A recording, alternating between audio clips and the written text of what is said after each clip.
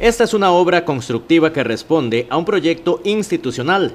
Esta es una zona de alto riesgo por inundaciones, por lo que están en la obligación de darle tranquilidad a nuestro personal judicial y personas usuarias de seguridad que se necesitan. Así se expresó el presidente de la Corte Suprema de Justicia, Carlos Chinchilla Sandí, al llegar a la zona sur donde se construye el nuevo edificio de tribunales de justicia, ubicado en la cabecera del cantón de Osa, en Ciudad Cortés, localizado en lo que será el complejo cívico cantonal. La nueva obra la entregará la empresa constructora antes de que termine este año 2018, que albergará 65 colaboradores quienes integran nueve despachos judiciales.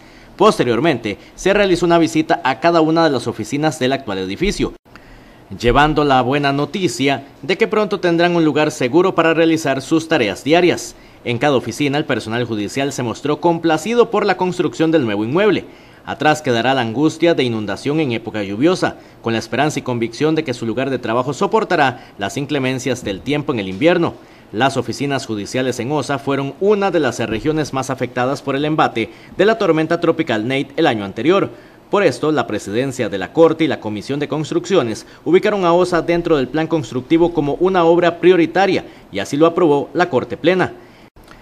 La visita la realizó el jerarca en el mes de febrero, en compañía del alcalde municipal Alberto Coldeleón, la presidenta del Consejo Municipal Maritza Jiménez y la administradora del circuito Aura Llanes.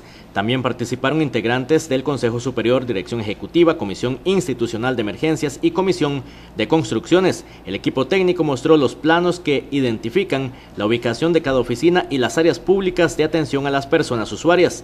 En la visita a los despachos, la Asociación Solidaria de Empleados Judiciales entregó mobiliario y electrodomésticos a las personas afectadas por el embate de Nate el año anterior.